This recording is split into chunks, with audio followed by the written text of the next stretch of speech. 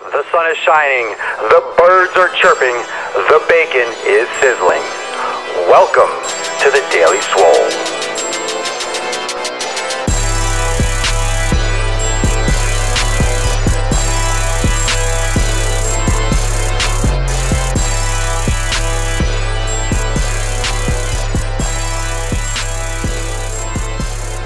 Welcome, everyone, to episode 67 of The Daily Mother Swole. Ooh, cracking and miring the gains as always. Today, I want to branch off uh, something that I was talking about on Instagram that your body wants you to quit. Your body wants you to quit. Your body wants to shut you down. One of the things that keeps you from your results, one of the things that keeps you from building muscle, from losing fat, is that your body wants you to quit and you listen to it. I want to go over a couple little points and then I'll take some Q&A after uh, the session unless there's something that goes on that's actually on topic or on point. Your body wants you to quit. Your body wants you to shut down. Your body wants you to give up. It's trying to protect itself. Your body is a defensive organism and it wants you to stop hurting yourself. The thing is, you have to hurt yourself in order to get results because you have to put your body under stress in order to get your body to adapt to change. So, pain is perception. Your body's or your perceived pain will adjust over time. When you first start working out, the pain that you feel today is not going to feel as extreme in two, three, four weeks, four months, four years down the road because your body gets used to pain. You get used to feeling certain pain. You get used to the burn in your triceps. You get used to the burn in your legs. You get used to these types of uh, discomforts, especially after your workout. After you're done working out, when you have the next couple of days of soreness, your body will get used to that. So, what I feel today might be crippling to some of you because you're not used to that kind of pain. You're not used to that kind of after burn or after or delayed onset muscle soreness. You're not used to that kind of fatigue or that trauma. I am. So it's relative. It's perception. It's what you're used to. So it doesn't mean that you have any less tissue damage than I do. It just means that you are not used to that feeling of pain. Your receptors aren't, um, are a little bit or more sensitive than mine, for example. Okay. In order to get results, you have to go past pain. So, first off, you need to be consistent in order to get your body to get used to those feelings of pain. You have to get used to knowing what types of pain are good pain and bad pain. You know when to stop because you have an injury. You know when to keep on pushing because it's just your body saying stop. And you have to say, shut the hell up, you pussy. I'm going to keep going. That's the two different types of pain that you need to be aware of because you need to go down the stopping such a pussy, keep going road. If you don't, you're just going to stop when it burns, and you're always going to stop when it burns because it's always going to burn when you stop. That was like a little Dr. Seuss rhyme, but that's what's going to happen. Your body is always going to get used to stopping when it gets difficult and it won't adapt. You have to push through that pain. You have to go through to that numbness, to that second layer of pain, kind of like different layers of discomfort until you absolutely reach failure. Now, this is something that has to be done over time, and that's going to be my last point about working through pain, about going to failure, going to that absolute limit. So you have to be smart. You have to be smart knowing which type of pain it is, knowing where it's failure pain or it's injury pain, and you have to build up to that. So when you're building up to that kind of pain, when you first start off, when you first start working out, what's going on, everyone? When you first start working out, you are not going to be able to hit failure the same way that I will.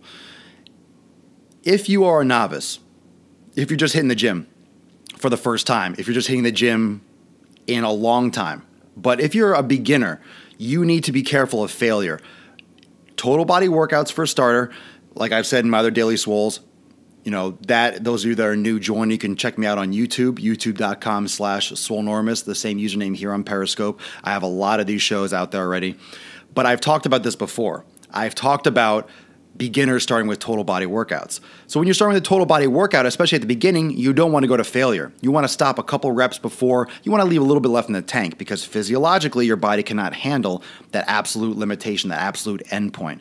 You will cripple yourself and you'll be out of the gym too long. You won't be able to build up, build up that consistency because you'll be sore for a couple weeks after that first session. You need to build up to that slowly. So understand that it is a process, it is something that needs to be built up over time, that tolerance to failure.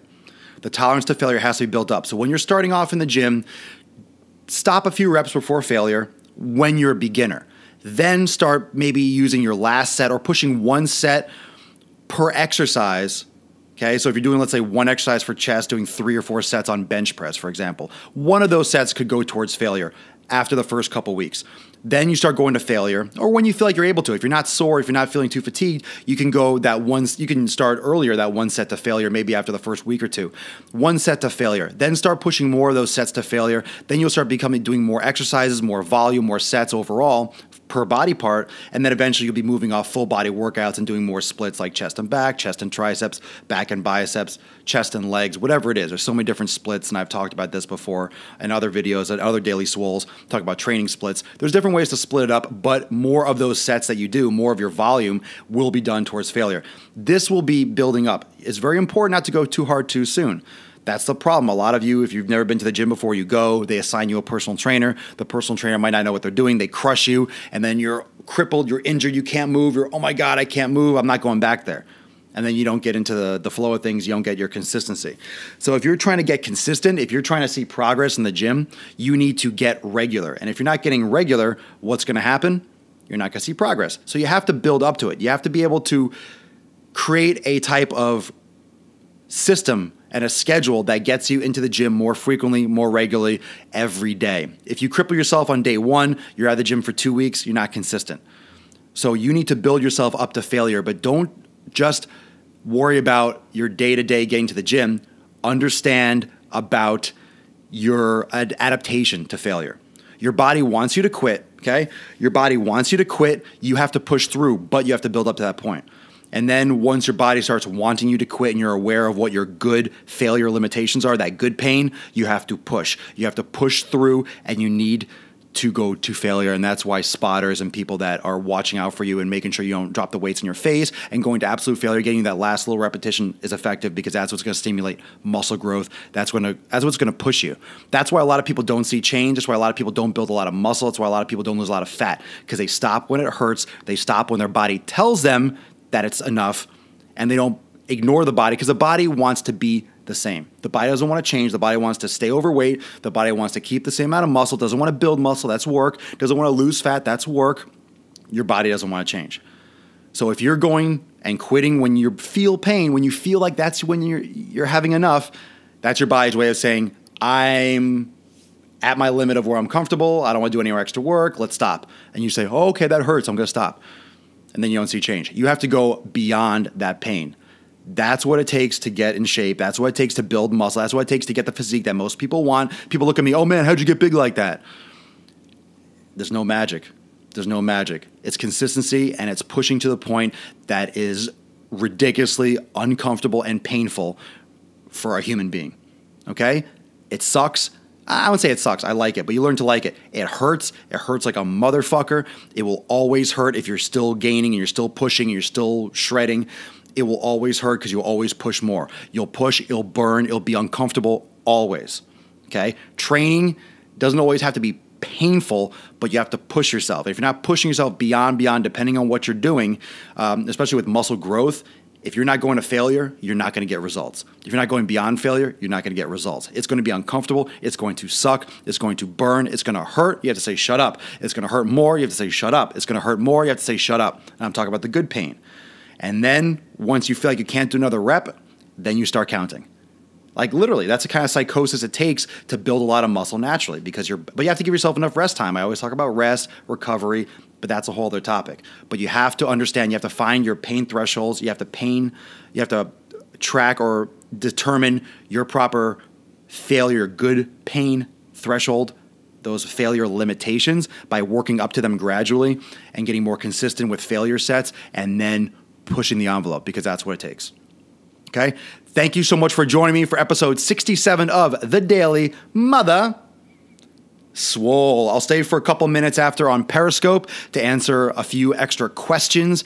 And thank you for joining me. I will see everyone tomorrow for episode 68 of The Daily Swole. Peace out. Enjoy your day.